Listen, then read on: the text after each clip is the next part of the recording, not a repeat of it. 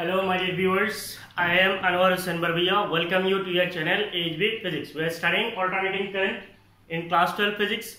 For alternating current, we have gone already for nine lectures. So this will be the tenth lecture in alternating current. In the last class, we have studied AC voltage applied to series LCR circuit. For that, we have studied the phasor diagram solution technique. Then we have studied analytical solution, and finally we have derived the power consumed by a AC circuit. That is power in AC circuit और the average power consume by series LCR circuit तो वहाँ तक हम लोगों ने पढ़ लिया। Now, in this class, we'll study about the phenomenon of resonance. So, what is the phenomenon of resonance in series LCR circuit? Resonance क्या होता है? LCR सर्किट में रेजोनेंस कैसे होता है? इन सारी चीज़ों को हम लोग पढ़ेंगे, ठीक है? तो रेजोनेंस आप लोगों ने क्लास टेन में भी पढ़ा था, याद है? एज्यूम कर लो कि आपके पास कोई एक सपोर्ट है यहाँ पे कोई एक सपोर्ट है रिजिड सपोर्ट है। यहाँ से एक बच्चा है, मान लीजिए यहाँ पे कोई दुल्ला है दुल्ला कैसे ड्रॉ करो? चलो, ऐसे है दुल्ला है, ठीक है? यहाँ पे कोई बच्चा बैठा हुआ है। तो ये दुल्ला जो है क्या करता है? ऐसे पेंडुलम की तरफ़ मूव करता है ऐसे। जाता है, फिर आता है, फिर जाता है, फिर आता है। इसका मतलब ये ऐसे जाएगा और आएगा। इसका मोशन कैसे होगा? It's motion is like simple pendulum ऐसे जाएगा, आएगा तो इसका मोशन कैसे हो जाएगा? सिंपल पेंडुलम की तरह हो जाएगा। तो ये क्या है? ये हमारा एक सिस्टम है। ये क्या है? एक सिस्टम है। ये सिस्टम क्या कर रहा है? ऑसिलेट कर रहा है। दुल्ला का तो मतलब पता है आपको हिंदी में क्या बोलते हैं? झूला बोलते हैं शायद। तो बच्चा जो ऐसे जाता है, फिर आता है, ऐसे जाता है, आता है, जाता है, आता है। तो ऐसा तो नहीं है कि वो अपने अगर हम यहाँ से कोई एनर्जी नहीं देंगे तो ये बच्चा जाएगा, आएगा, फिर ऐसे जाएगा, आएगा धीरे धीरे क्या हो जाएगा? ये रश पे आ जाएगा। इसका मतलब इसका जो एम्पलीट्यूड ऑफ़ ऑसिलेशन है, वो एम्पलीट्यूड ऑफ़ ऑसिलेशन धीरे धीरे कम होगा और कम होते होते ये फाइनली कहाँ पे आ जाएगा? रश पे आ जाएगा। नाउ इसका जो ऑसिलेशन है, इस ऑसिलेशन को मेंटेन करने के लिए हमें क्या चाहिए? इस ऑसिलेशन को मेंटेन करने के लिए हमें बाहर से कोई एक एक्सटर्नल एनर्जी देना चाहिए। तो एज्यूम कर लीजिए, यहाँ पे कोई और एक बच्चा खड़ा है। और ये बच्चा क्या कर रहा है? इस ये बच्चा जो है एक्सटर्नल एनर्जी दे रहा है। मीन्स ये अपना हाथ से क्या कर रहा है? इसको पुश कर रहा है। ठीक है? तो ये जब उधर से आता है तो ये ऐसा पुश करता है तो ये जाता है, फिर ये आता है, फिर ये पुश करता है, फिर आता है। तो ऐसे क्या हो रहा है? इसका जो ऑसिलेशन है, इस ऑसिलेशन को मेंटेन करने के लिए हमें क्या चाहिए? एक एक्सटर्नल सोर्स का एनर्जी चाहिए। तो ये बच्चा अभी यहाँ पे, ये बच्चा क्या कर रहा है? ये एक्सटर्नल सोर्स की तरह काम कर रहा है। No what is the phenomenon of resonance यहाँ पे रेजोनेंस का फेनोमेनन कहाँ पे है? अब ये बच्चा जाता है, फिर आता है। अब एज्यूम कीजिए ये जो इंसान है, इसका जो फ्रिक्वेंसी है, ये जाता है और आता है। इसका मतलब ये क्या? जाने और आने में जो टाइम लगता है देर इज़ टाइम पीरियड है। एक सेकंड में कितना बार जाता है? एक सेकंड में कितना बार जाता है और आता है? उसको हम क्या बोलते हैं? फ्रिक्वेंसी बोलते हैं। अब इसके पीछे जो इंसान खड़ा है, इसके पीछे जो इंसान है, मान लीजिए जो बच्चा है, उसका जो फ्रिक्वेंसी है, इसके बराबर होना चाहिए। मान लीजिए ये जा रहा है यहाँ पे चला गया। अब ये अगर हाथ लगाएगा कोई फ़ायदा होगा? ये ऑलरेडी कहाँ पे चला गया? यहाँ पे चला गया। ये हाथ लगाएगा तो कोई फ़ायदा नहीं है। अब मान लीजिए ये आ रहा है। यहाँ पे जब आया, आते ही अगर ये हाथ लगा देगा तो कोई फ़ायदा होगा? ये एक्चुअली यहाँ तक जाना है फिर आना है? समझ में आ रहा है ना? गया, आया। पूरा नहीं आ पाया। आप हाथ लगा दिए तो फ़ायदा नहीं है। पूरा गया, फिर आया। तब अगर ये हाथ लगाएगा तब क्या होगा? इसका जो एम्पलीट्यूड है वो ज़्यादा होगा, है कि नहीं है? कहानी समझ में आ रहा है? तो इसको कहा जाता है व्हेन द सिस्टम फ्रीक्वेंसी मान लीजिए ये जो सिस्टम है, इसका फ्रीक्वेंसी है कुछ, इसका सिस्टम फ्रीक्वेंसी है मान लो ओमेगा तो ओमेगा इक्वल टू क्या है? एंगुलर फ्रीक्वेंसी इसका फ्रीक्वेंसी के साथ रिलेशन कैसे है? 2 पाई न्यू तो सिस्टम का फ्रीक्वेंसी अगर मान अच्छा चलो, यहाँ पे बोलते सिस्टम का फ्रीक्वेंसी मान लो न्यू ये जो सिस्टम का फ्रीक्वेंसी है एक्सटर्नल सोर्स का फ्रीक्वेंसी के बराबर अगर होगा if the external energy source has frequency nearly or equal to the system frequency, then the amplitude of oscillation is found to be learned. This phenomenon is called resonance. कहानी समझ में आया? अब ये जो सिस्टम का फ्रीक्वेंसी होता है इसको हम लोग क्या बोलते हैं इसको हम लोग नेचुरल फ्रीक्वेंसी भी बोलते हैं इसको हम लोग क्या बोलते हैं natural frequency so when the natural frequency of the system is equal to the frequency of external source the amplitude of oscillation is found to be large this phenomenon is called resonance So what is resonance? The phenomenon of resonance, the phenomenon of resonance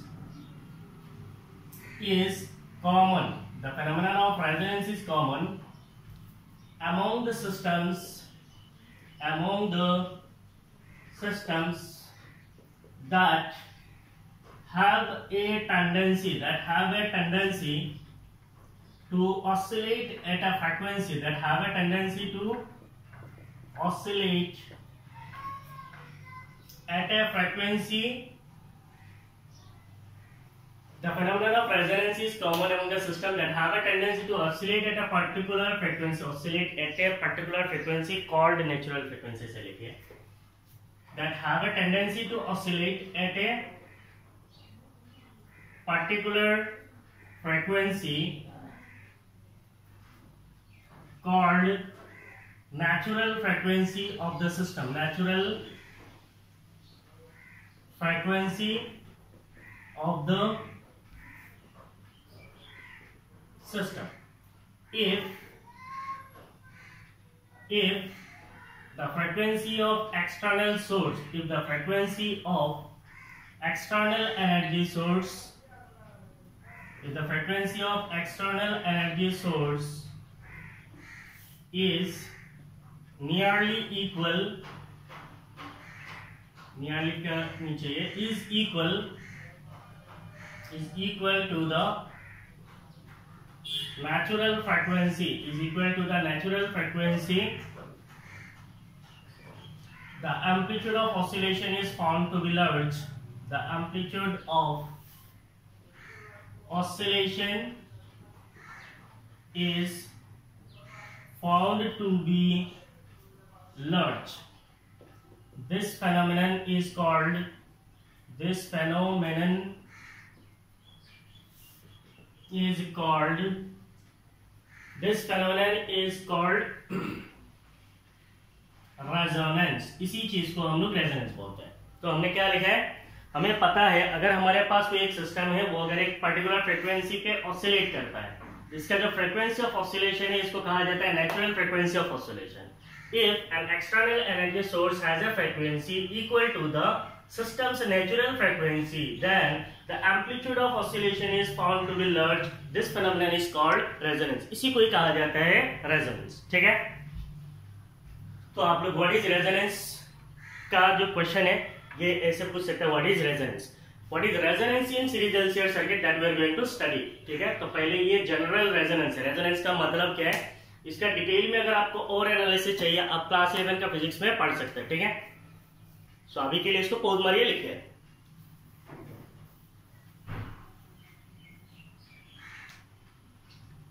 हो गया?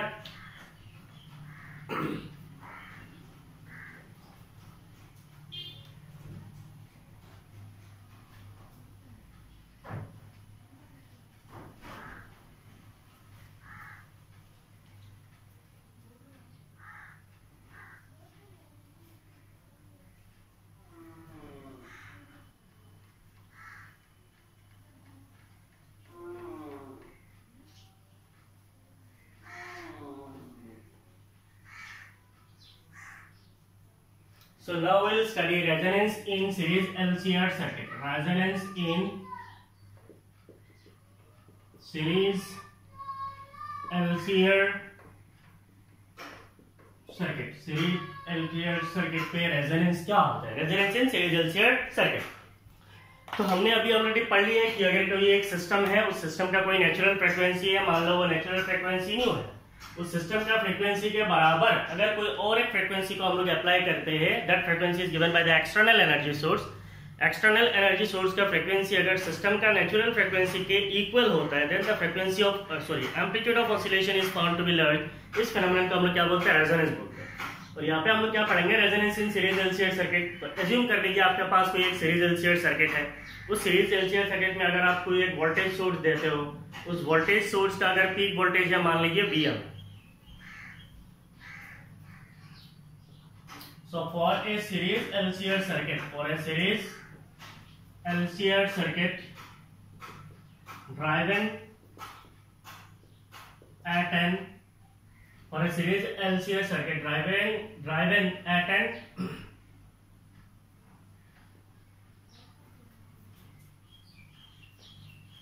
for a series LCR circuit driven at voltage amplitude voltage amplitude V M मान लीजिए हमारे पास कोई एक series LCR circuit है, उसमें अगर हम कोई एक वोल्टेज सोर्स देते हैं, जिस वोल्टेज सोर्स का पीक वोल्टेज कितना है वीएम है,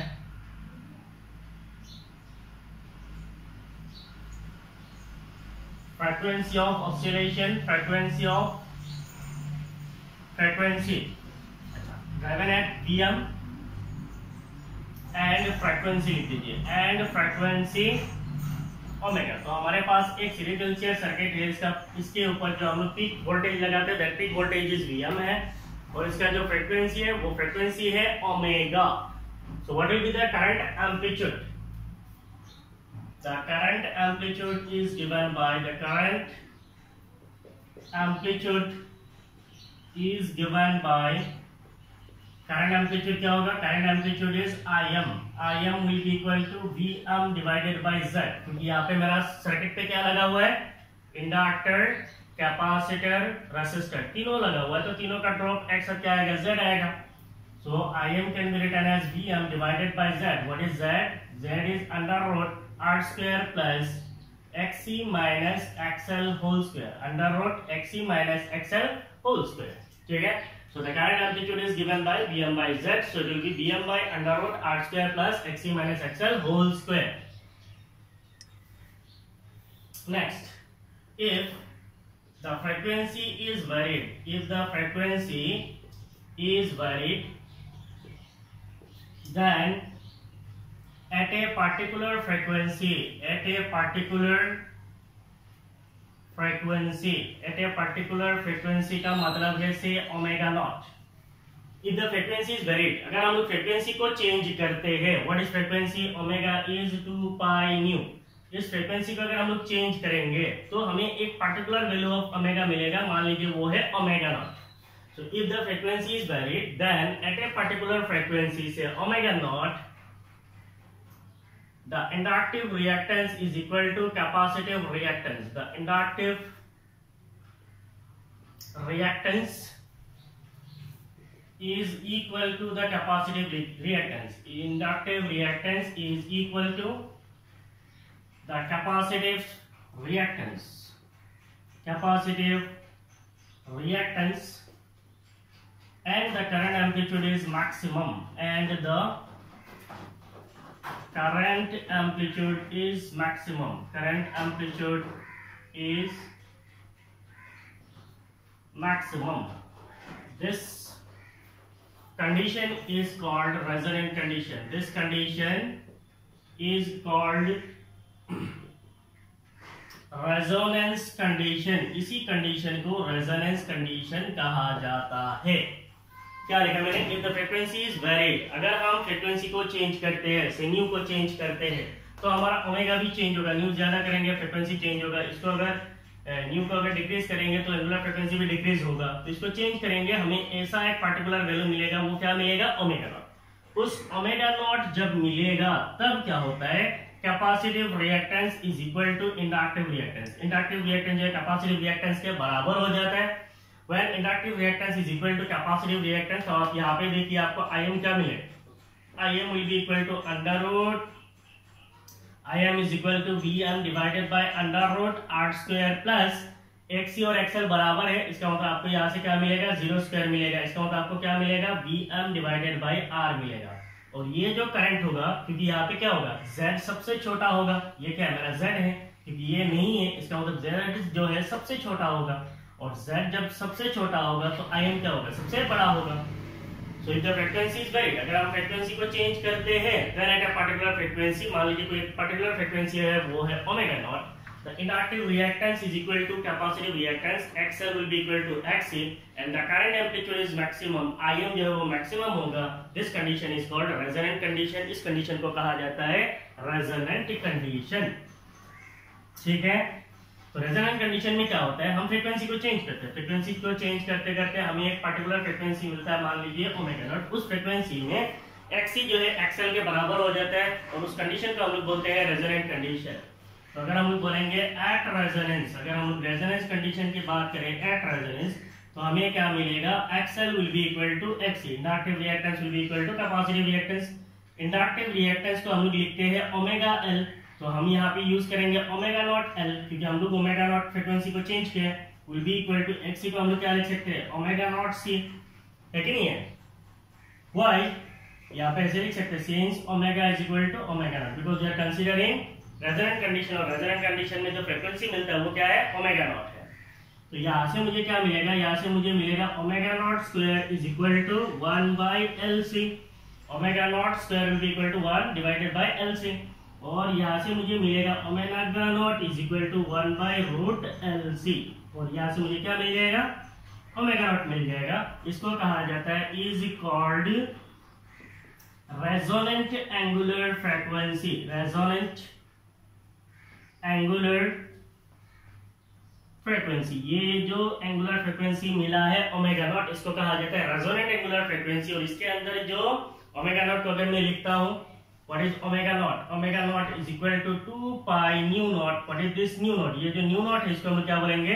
रेजोनेंट फ्रीक्वेंसी बोलेंगे। Resonant frequency. So nu naught is called resonant frequency, omega naught is called resonant angular frequency. Resonant angular frequency को भी कभी कभी बोलते हैं resonant frequency but actually resonant angular frequency is omega naught and it is given by 1 by under root LC and resonant frequency is given as nu naught. And it is equal to omega naught divided by 2 pi ठीक है?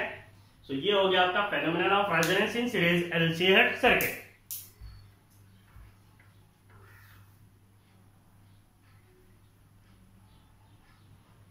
हो गया? सब लोग pose कीजिए जल्दी जल्दी लिखिए।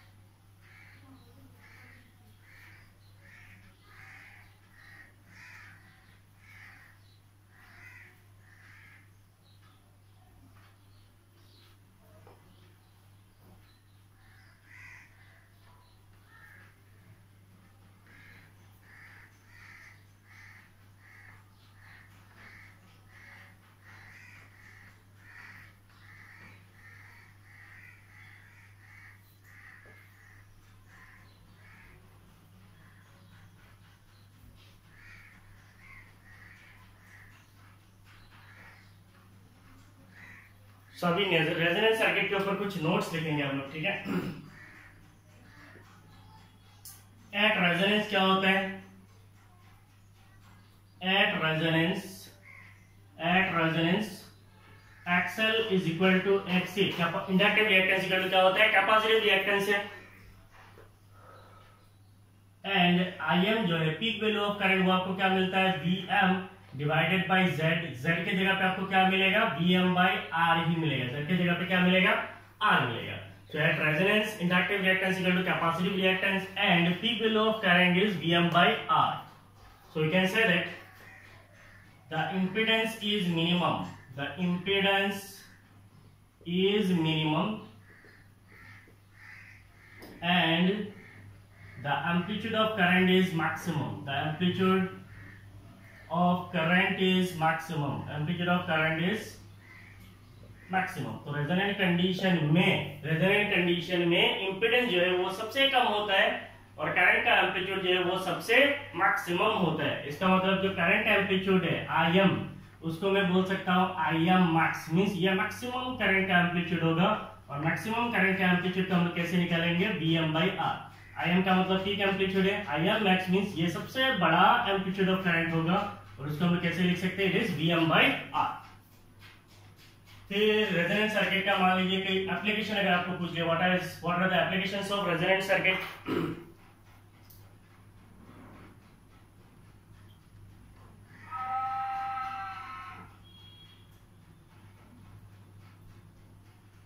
resonance phenomenon is used. Resonance phenomenon is used in the tuning circuit, in the tuning circuit, in the tuning circuit of radio and TV radio TV में जो ट्यूनिंग सर्किट होता है, वहाँ पे भी रेजोनेंस फेनोमेनन इस्तेमाल होता है। तो आप लोगों ने पुराने जमाने का जो रेडियो है, वो देखा है कि ऐसे एक नॉब होता था। इस नॉब को क्या करते थे? ऐसे घुमाते थे कि नहीं? ऐसे घुमाते थे। ऐसे घुमाने से क्या होता था? इसके अंदर के, इसके अंदर के जो कैपेसिटिव रिएक्टेंस है, वो चेंज होता है। क्या चेंज होता है? कैपेसिटिव रिएक्टेंस चेंज होता है। मीन फ्रीक्वेंसी चेंज होता है। उससे क्या होता है? कैपेसिटिव रिएक्टेंस चेंज होता है। और कैपेसिटिव रिएक्टेंस को चेंज करते करते एक समय ऐसा होता है, जब capacitive reactance equal to inductive reactance होता है। जब capacitive reactance equal to inductive reactance होगा, तब करंट का जो एम्पलीट्यूड है, वो क्या होगा? मैक्सिमम होगा और can say maximum current in the circuit उसी कंडीशन में क्या होता है? मान लीजिए आपको किसी एक स्टेशन का सुनना है, किसी भी एक पर्टिकुलर स्टेशन से आपको गाना सुनना है तो आपको उस स्टेशन में कनेक्ट हो जाता है। यहाँ पे क्या होता है? ये हमारा क्या है? ये हमारा सिस्टम है। और हमें यहाँ पे एक ब्रॉडकास्टिंग स्टेशन है। मान लीजिए यहाँ पे कोई एक एंटीना है। उस एंटीना से क्या मिल रहा है? उस एंटीना से हमें सिग्नल मिल रहा है। उस एंटीना से सिग्नल कहाँ पे आ रहा है? रेडियो पे आ रहा है। तो इसका एक फ्रीक्वेंसी है। तो यहाँ पे हम लोग क्या करते हैं, इसका कैपेसिटी रिएक्टेंस की चेंज यहाँ पे जो हमारा स्टेशन है, वो स्टेशन से कितने सिग्नल्स आ रहा है? देयर आर मेनी सिग्नल्स तो हमें किसी एक पर्टिकुलर स्टेशन का सिग्नल चाहिए। उस पर्टिकुलर स्टेशन का सिग्नल के साथ फ्रिक्वेंसी को मैच करने के लिए हम लोग इस नॉब को चेंज करते हैं। इसको जब हम लोग ऐसे चेंज करेंगे तो इससे क्या होता है? फ्रिक्वेंसी चेंज होता है। न्यू चेंज होता है। फ्रिक्वेंसी कम ज़्यादा होने की वजह से क्या होता है? एक्सी चेंज होता है। एक्सी चेंज होने से एक पर्टिकुलर कंडीशन आता है, जब क्या होता है? एक्स इक्वल टू एक्सएल हो जाता है। जब एक्स इक्वल टू एक्सएल हो जाता है तो एन क्या हो जाता है? पीक एम्पलीट्यूड ऑफ़ करंट जो मैक्सिमम हो जाता है। करंट जब मैक्सिमम हो जाता है, तब हम लोग बोल सकते हैं, हमारा रेडियो में वो जो पर्टिकुलर स्टेशन है, वो क्या हो जाएगा? कनेक्ट हो जाएगा। ठीक है? तो इस, इसको बोलते हैं tuning circuit of radio and TV तो रेडियो और टीवी के अंदर जो ट्यूनिंग सर्किट होता है, उन ट्यूनिंग सर्किट पे भी हम लोग क्या यूज़ करते हैं? रेजोनेंस कंडीशन को यूज़ करते हैं।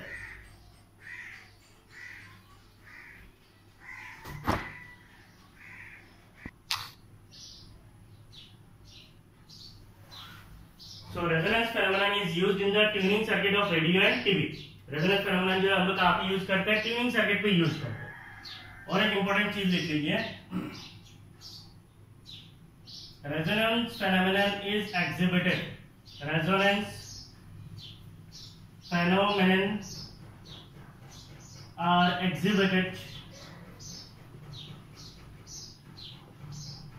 by the circuit by the circuit that have both L and C. तो इसका मतलब रेजोनेंस फेनोमेनन जो है, वो उन्हीं सर्किट पे होता है जिसपे इंडक्टर और कैपेसिटर दोनों हो। जिसमें इंडक्टर कैपेसिटर दोनों नहीं होता है, क्योंकि हमारा क्या होता है? रेजोनेंस कंडीशन में एक्सएल इक्वल टू एक्सी होता है और XC minus XL equal to क्या होता है? इक्वल टू ज़ीरो होता है।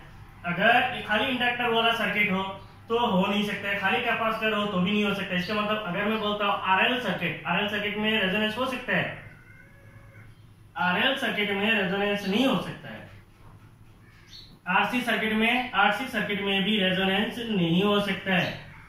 The circuit that have both R L and C can only have resonance जिसके अंदर आर एल सी तीनों होता है, उसी में ही रेजोनेंस हो सकता है। आरएल सर्किट में आरसी सर्किट में आपका जो है रेजोनेंस नहीं हो सकता है ठीक है?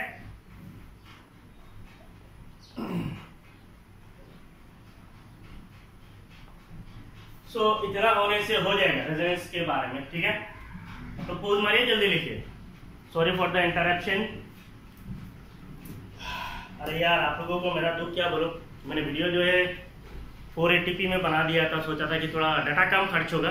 लेकिन वो वीडियो जो है करप्ट हो गया अपलोड होने के बाद तो फिर से कैंसिल कर रहा हूँ। अभी दिन में बना रहा हूँ। ठीक है अभी क्लास है तो बना के ही देना पड़ेगा। इतना सारा मुश्किल है। ठीक है, लेकिन फिर भी करना पड़ता है। इट्स माई रेस्पॉन्सिबिलिटी और आपका रेस्पॉन्सिबिलिटी है पढ़ना है तो पढ़िए, अच्छी तरीके से पढ़िए, ठीक है?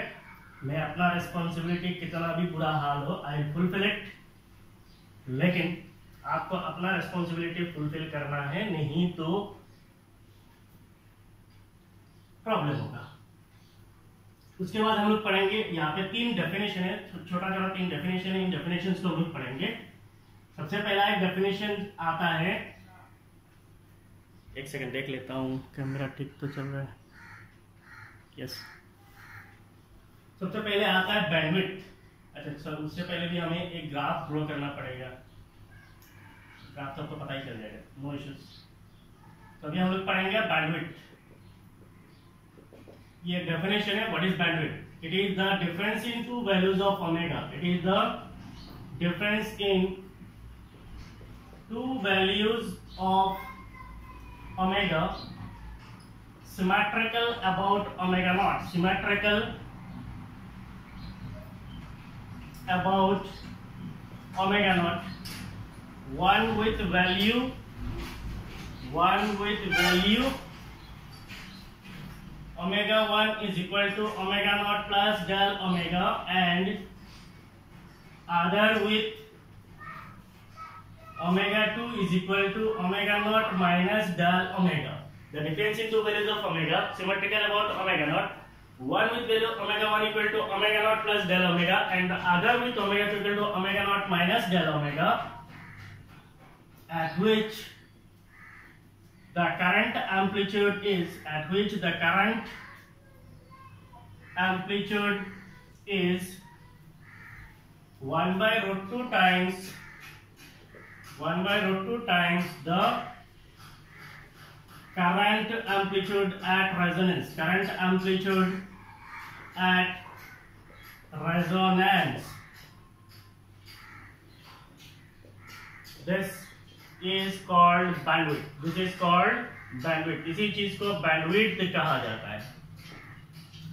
सो so, बैंडविड्थ को आपको डिफाइन करने के लिए सबसे पहले आपको एक ग्राफ चाहिए। The graph is the variation of peak amplitude of current versus omega. What is omega? It is in radian per second. और यहाँ पे आपको क्या चाहिए? Peak amplitude of current that is I M current in ampere अगर हम बोलेंगे say I M so so, इधर हो गया आपका करंट एम्पलीट्यूड और इधर आपका क्या होना चाहिए? ओमेगा होना चाहिए। इनके बीच में अगर हम कोई एक ग्राफ को ड्रॉ करते हैं then the graphical representation is somewhat like this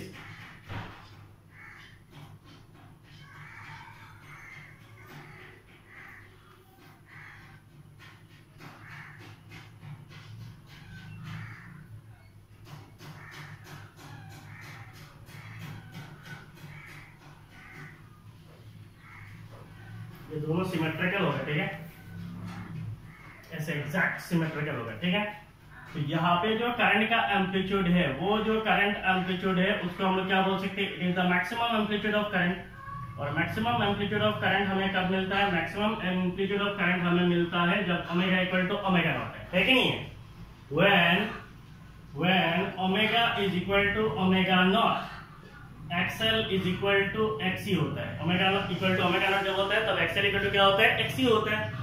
और जब एक्सएल इक्वल टू एक्सी होता है, तब आपका एम्पलीट्यूड ऑफ़ करंट क्या होता है? I M I M is equal to क्या होता है? बी एम बाई आर उस कंडीशन में जेड की तरह होता है। जेड इक्वल टू होता है R that is called resonant condition resonant condition में omega equal to omega naught होता है। एक्सएल इक्वल टू एक्सी होता है पीक एम्पलीट्यूड ऑफ़ करंट जो है बीएम बाई आर होता है, इसका मतलब impedance of circuit is equal to क्या होता है? आर होता है। तो हम बोल सकते हैं, ये जो करंट एम्पलीट्यूड है, वो करंट एम्पलीट्यूड क्या होता है? This is the maximum amplitude of current और आर जो है जेड जो है, वो मिनिमम होता है। इंपीडेंस जो है, वो मिनिमम होता है, जिसकी वजह से करंट जो है, क्या होता है? मैक्सिमम होता है। तो इसका मतलब इस पार्टिकुलर वैल्यू ऑफ़ करंट को हम लोग क्या बोल सकते हैं? इस पार्टिकुलर करंट को हम लोग बोल सकते हैं आई एम मैक्स इसको हम क्या बोल सकते हैं? I M max I M ऊपर में मैंने मैक्स लिखा है, इसका मतलब क्या it is the maximum amplitude of current it is the maximum value of current या फिर maximum amplitude of current now अगर हम लोग दो ओमेगा का वैल्यू सिलेक्ट करते हैं, मान लीजिए यहाँ पे यहाँ पे आपको एक ओमेगा का वैल्यू मिलेगा say this omega value is omega one यहाँ पे आपको एक ओमेगा का वैल्यू मिलेगा say this value is omega two omega naught और ओमेगा वन के बीच में जो डिफरेंस है, वो है डेल ओमेगा ओमेगा नॉट और ओमेगा टू के बीच में जो डिफरेंस है, वो भी है डेल ओमेगा अब मान लीजिए यहाँ से अगर मैं बोलता हूँ, ये है ओमेगा नॉट तो मैं ओमेगा वन को क्या लिख सकता हूँ? Omega one can be written as omega naught plus del omega यहाँ तक कितना है? ओमेगा नॉट है. तो omega naught plus del omega मुझे क्या देगा? ओमेगा वन देगा. ओमेगा टू क्या हो जाएगा? Omega naught minus del omega so it is omega naught minus del omega so अभी बैंडविड्थ पे आ जाओ. The difference in two values of omega तो बैंडविड्थ कैसे डिफाइन किया जाता है? Bandwidth is higher order frequency minus lower order frequency omega one जो इसको कहा जाता है higher order frequency omega two जो इसको कहा जाता है लोअर ऑर्डर फ्रीक्वेंसी इसको कहा जाता है higher sideband frequency H F H S F भी कहा जाता है. हायर साइड बैंड फ्रीक्वेंसी भी कहा जाता है। हायर साइड बैंड फ्रीक्वेंसी भी कहा जाता है। किसको? ओमेगा वन को। और लोअर साइड बैंड फ्रीक्वेंसी कहा जाता है। लोअर साइड बैंड फ्रीक्वेंसी कहा जाता है ओमेगा टू को। Omega one is called higher side band frequency omega two is called lower side band frequency the difference in higher side band frequency and lower side band frequency is called bandwidth ठीक है? और ये जो graph है, इसको frequency spectrum भी कहा जाता है। इसको क्या कहा जाता है? फ्रीक्वेंसी स्पेक्ट्रम भी कहा जाता है। तो उतना कहना नहीं चाहिए। आपको बस इतना पार्ट समझना है। ये जो मेरा ग्राफ है it is the graph between I M and omega इनके बीच में अगर मैं ग्राफ ड्रॉ करता हूँ तो ओमेगा नॉट पे जो करंट आएगा, वो सबसे मैक्सिमम होगा। Because it is at the resonant condition omega equal to omega naught और ओमेगा नॉट जब होता है तो आई एम क्या होता है? मैक्सिमम होता है। इसके पास में दो हम लोग ओमेगा का वैल्यू सिलेक्ट करेंगे। सिमेट्रिकल अबाउट ओमेगा नॉट इसका मतलब ओमेगा नॉट से ओमेगा वन जितना दूरी पे होगा ओमेगा नॉट से ओमेगा टू भी उतना ही दूरी पे होगा, इसलिए इसको कहा जाता है symmetrical about omega naught omega one का जो वैल्यू होगा, वो होगा omega naught plus del omega omega two का जो वैल्यू होगा, वो होगा omega naught minus del omega इनके बीच में जो डिफरेंस होता है, इसी चीज़ को कहा जाता है bandwidth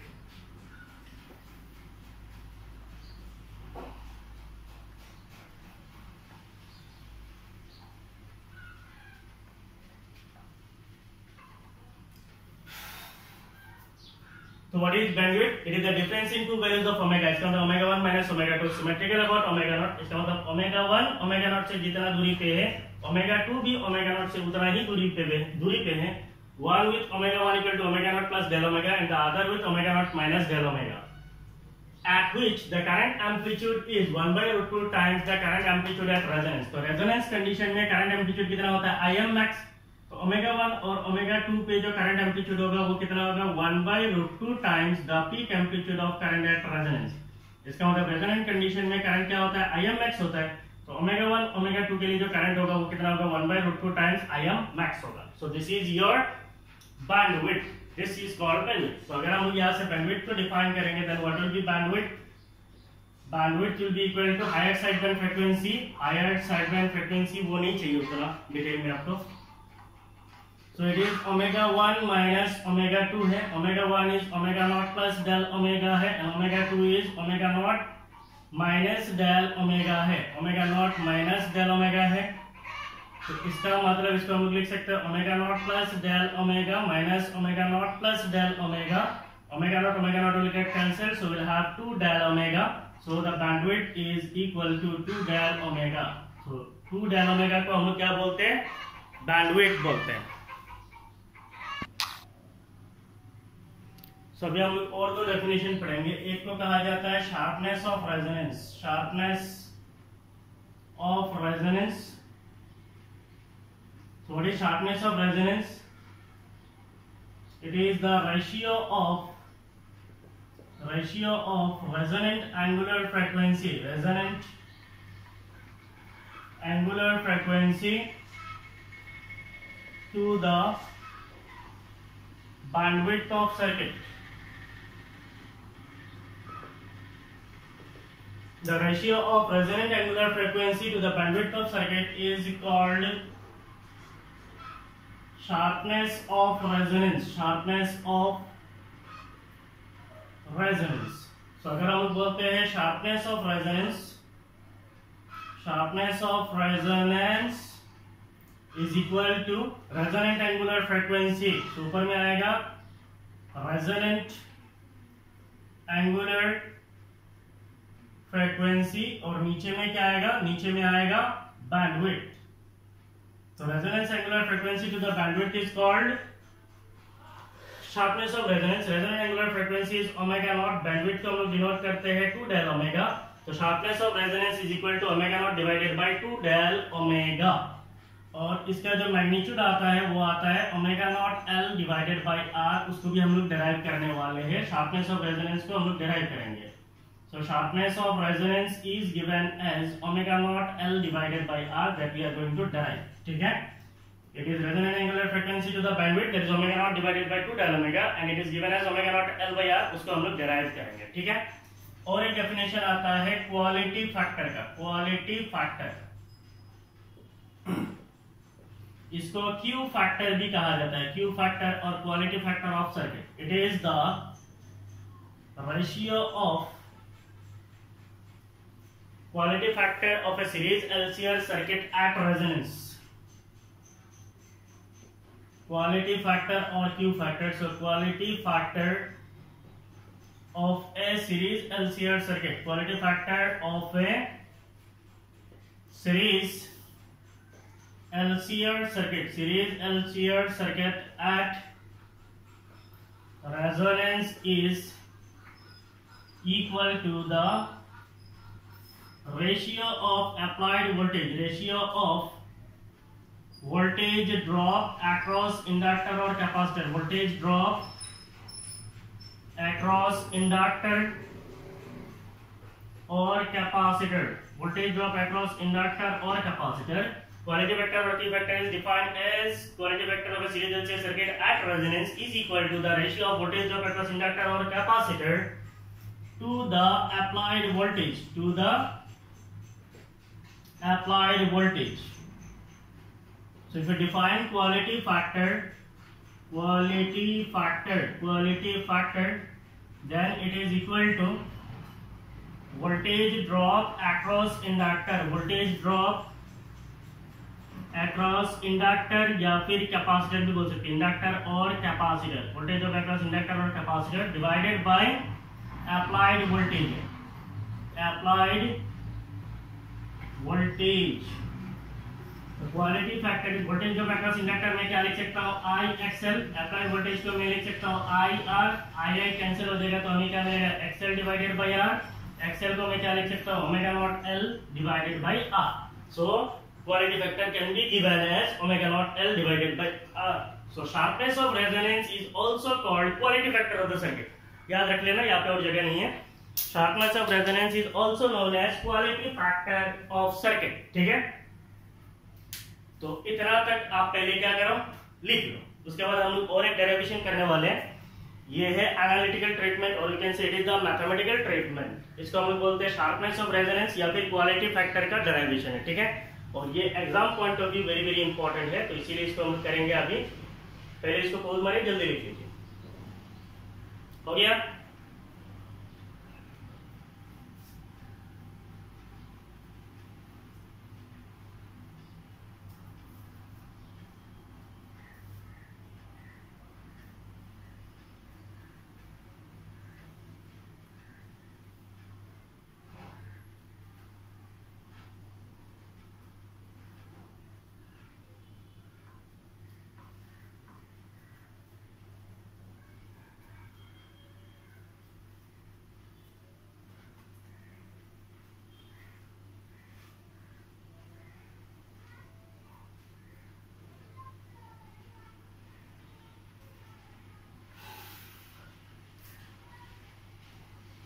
The mathematical expression for mathematical mathematical mathematical expression for sharpness of resonance mathematical expression for sharpness वो ग्राफ और नहीं चाहिए मैं आपको बता दूँगा जहाँ पे यूज़ होगा वहाँ पे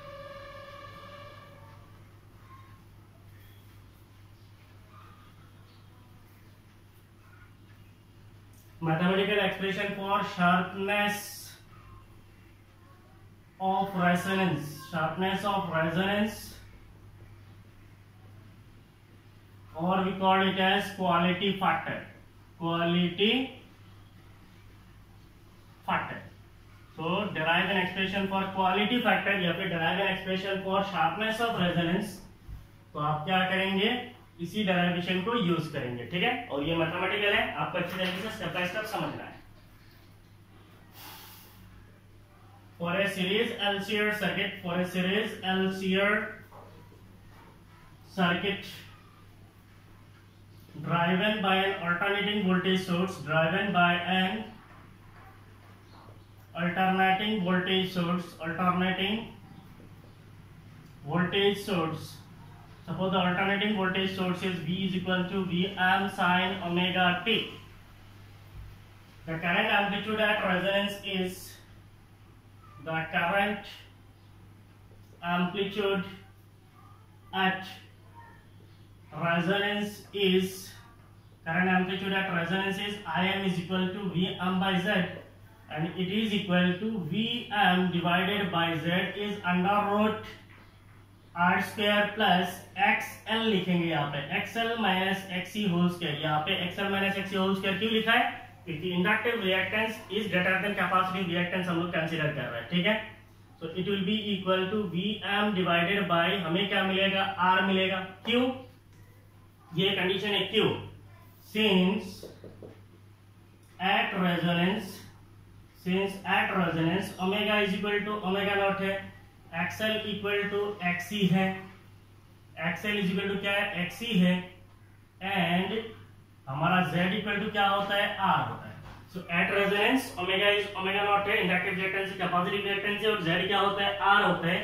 देयरफॉर हमें जो करंट का एम्पलीट्यूड मिलेगा that amplitude will be maximum and it will be equal to vm divided by r. हमारा जो करंट एम्पलीट्यूड होगा, वो क्या होगा? मैक्सिमम होगा। और ये क्या हो जाएगा? VM by VM by R होगा। क्यों? क्योंकि हमारा इंपीडेंस जेड जो है वो मिनिमम है, इसीलिए करंट का एम्पलीट्यूड क्या है? मैक्सिमम है। तो इसको हम लोग आगे जाके यूज़ करेंगे, ठीक है? नेक्स्ट ये हो गया आपका पहला स्टेप सेकेंड स्टेप में हम लोग क्या लिखेंगे? For omega one is equal to omega naught plus del omega for omega one equal to omega naught plus del omega the current amplitude is, the current amplitude is, current amplitude कितना होगा? आई im im is equal to क्या हो जाएगा? Vm divided by z. Z के जगह पे हम लोग क्या लिखेंगे? Under root R square plus वहाँ पे क्या एक्सएल है। एक्सएल की जगह पे हम लोग क्या लिखेंगे? ओमेगा एल मैंने ओमेगा वन कंसीडर किया तो यहाँ पे क्या हो जाएगा? Omega one L minus XC के जगह पे हम लोग क्या लिखेंगे? One by omega C omega के जगह पे क्या हो जाएगा? Omega one C whole square तो ये हो जाएगा V M by Z Z के जगह पे R square plus XL minus XC whole square है। एक्सएल के जगह पे होगा ओमेगा एल यहाँ पे आएगा omega one L minus XC के जगह पे आएगा one by omega C omega के जगह पे हो जाएगा omega one C whole square ठीक है? तो ये हो गया हमारा I M this will be equal to और omega one and omega two मैंने थोड़ा पहले आपको दिखाया था ओमेगा वन और ओमेगा टू के लिए करंट एम्पलीट्यूड क्या होता है? यहाँ पे ओमेगा वन है, यहाँ पे ओमेगा टू है। करंट एम्पलीट्यूड कितना है? ये ओमेगा वन है, ये ओमेगा टू है। करंट एम्पलीट्यूड कितना होता है? It is I M max one by root two times the peak amplitude of current at resonance होता है। है कि नहीं है? तो इसको हम लिख सकते हैं one by root two times the current amplitude at resonance now this will be equal to 1 by root 2 times current amplitude of resonance that is I M max कितना है? It is V M by R है। तो आपको यहाँ पे क्या मिलेगा? V M by R ठीक है? पूरा स्टेप पे एक देखो B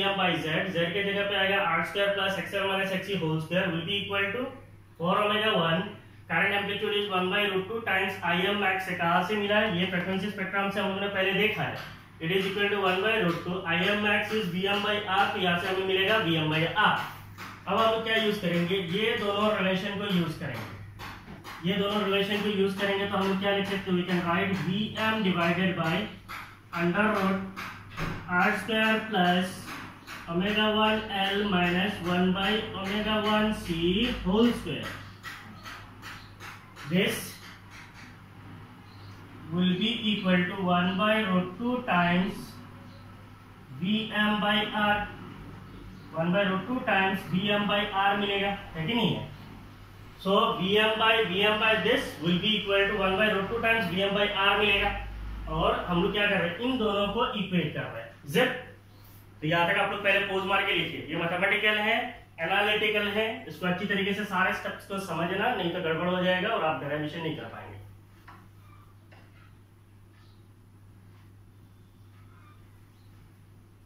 So what we are doing? We are doing the mathematical expression for sharpness of resonance or quality factor. ठीक है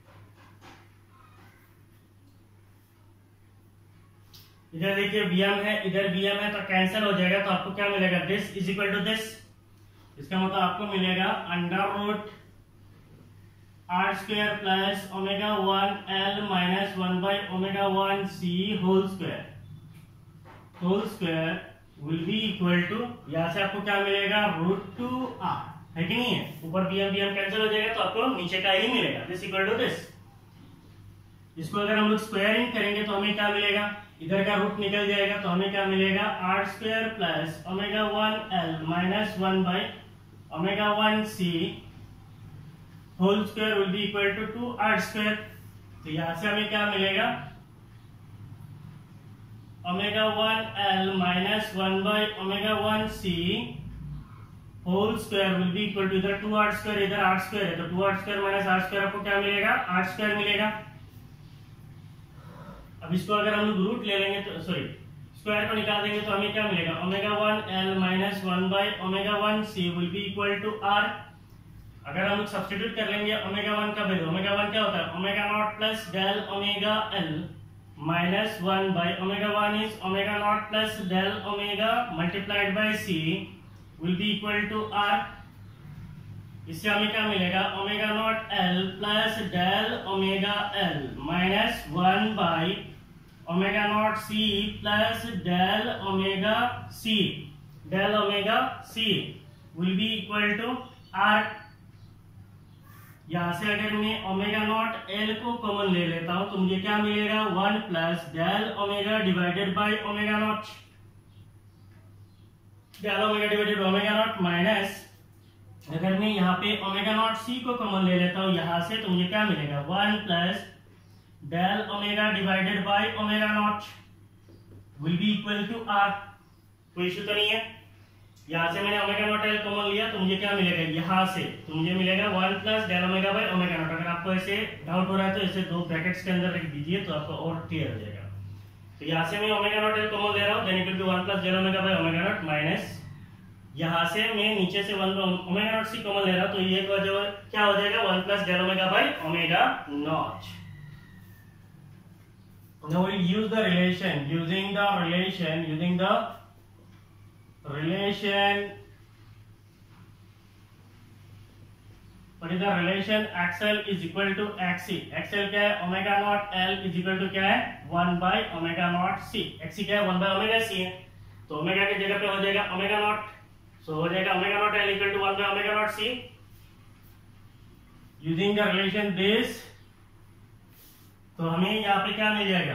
Omega not L into one plus del omega divided by omega not minus one by omega not C के जगह पे मैं क्या लिख सकता हूँ? ओमेगा नॉट एल लिख सकता हूँ। तो मुझे मिल जाएगा ओमेगा नॉट एल और ये नीचे में है one plus del omega by omega not इसको ऊपर करूँगा तो मुझे क्या मिल जाएगा? One plus del omega divided by omega not power minus one equal to R doubt तो नहीं है। Omega not L into this minus one by omega not C के जगह पे मैं लिख सकता हूँ omega not L equal to one by omega not C so one by omega not C के जगह पे लिख सकता हूँ omega not L one plus del omega by omega not ऊपर लेके जाएँगे तो क्या हो जाएगा? Power minus one will be equal to R अब यहाँ पे हम लोग बाइनोमियल एक्सपेंशन यूज़ करेंगे using binomial expansion binomial expansion क्या होता है?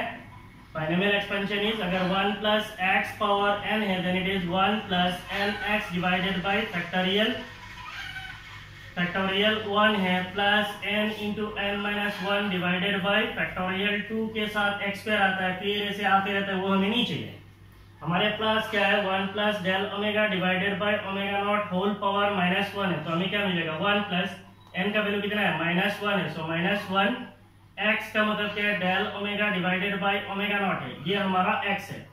तो one plus N X divided by factorial one इसका मतलब वन है। प्लस इसके ऊपर क्या हो जाएगा? हायर ऑर्डर टर्म हो जाएगा। वो हमें नहीं चाहिए। तो हमें क्या मिलेगा? One minus del omega divided by omega not इसका मतलब इस टर्म का अगर मैं बाइनोमियल एक्सपेंशन करता हूँ तो मुझे क्या मिलेगा? One minus del omega by omega not मिलेगा।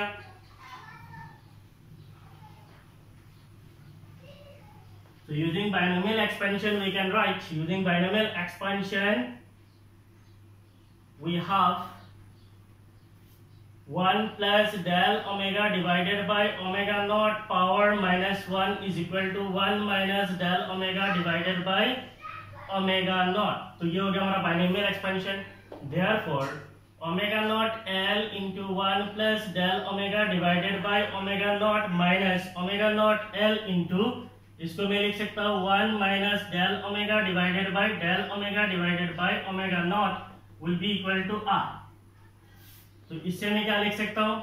इसको अगर मैं तोड़ दूँगा तो ओमेगा नॉट वो L so omega not L plus omega not L del omega divided by omega not तो ये कैंसिल हो जाएगा तो मुझे क्या मिलेगा? L del omega minus omega not L तो ये हो गया ओमेगा नॉट एल माइनस हो जाएगा प्लस फिर ओमेगा नॉट कैंसिल तो मुझे क्या मिलेगा? L del omega will be equal to क्या हो जाएगा? R omega not L omega not L cancel हो जाएगा तो मुझे क्या मिलेगा? Two L del omega is equal to R तो यहाँ से अगर मैं निकालता हूँ टू डेल ओमेगा यहाँ से अगर मैं निकालता हूँ टू डेल ओमेगा तो मुझे क्या मिलेगा? आर बाई एल तो टू डेल ओमेगा को हम क्या बोलते हैं? बैंडविड्थ बोलते हैं। तो इज़ द बैंडविड्थ है। Is the bandwidth of circuit ये मुझे क्या मिला? बैंडविड्थ मिला। Is the bandwidth of circuit तो bandwidth is two del omega two del omega equal to कितना है? आर बाई एल है। तो ये हमारा हो गया बैंडविड्थ इसको जल्दी पोज मारिए, लिखिए।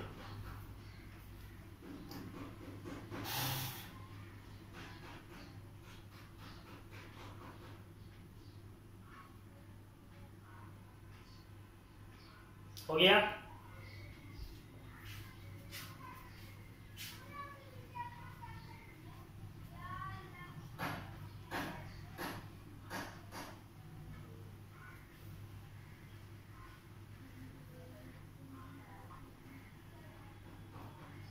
फोर अगर हम लोग बोलते हैं sharpness of resonance sharpness of resonance sharpness of resonance क्या होता है? Sharpness of resonance is defined as the ratio of resonance angular frequency to the bandwidth that is two del omega इसको हम लिख सकते हैं omega not divided by two del omega क्या है? Two del omega is R by L इसका मतलब हमें क्या मिलेगा? Omega not L divided by R so this is called sharpness of resonance ये हो गया शार्पनेस ऑफ़ रेजोनेंस का फॉर्मूला शार्पनेस ऑफ़ रेजोनेंस क्या है? Omega not L divided by R the sharpness of resonance is also called as quality factor the sharpness of resonance is also called quality factor of the circuit quality factor of the quality factor of the circuit sharpness of resonance को हम लोग quality factor of circuit भी कहते हैं therefore quality factor अगर मैं define करूँ then quality factor is also given as omega naught L divided by R. So this is the quality factor. We call this quality factor as Q value also. So what is the Q value of circuit? It is omega naught L divided by R.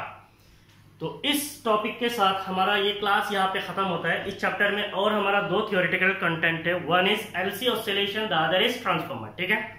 तो in coming classes will study transformer and then will study LC oscillation and after that I will solve the numericals आप लोग alternating current के जितने भी lecture है अच्छी तरीके से सुनिए और अच्छी तरीके से प्रैक्टिस कीजिए। क्योंकि ये कंप्लीट एनालिटिकल है कंप्लीट मैथमेटिकल है। Without practice you cannot learn ठीक है?